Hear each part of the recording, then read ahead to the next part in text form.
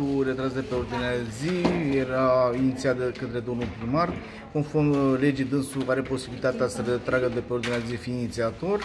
Viza împrumutul uh, BCR, care, despre care s-a vorbit foarte mult în presă și uh, care a avut anumite probleme uh, semnate chiar de către prefectură.